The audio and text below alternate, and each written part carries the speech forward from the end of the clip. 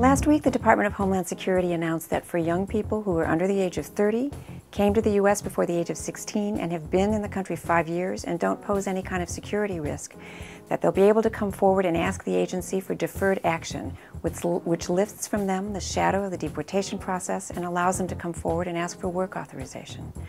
This is important because it'll give these young people the ability to contribute fully to this country, which is their country. The President believes they shouldn't be punished for the actions of their parents and should have every opportunity to contribute.